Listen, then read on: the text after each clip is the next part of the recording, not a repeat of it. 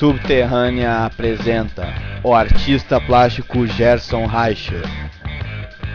Na mostra individual Humboldt Revista.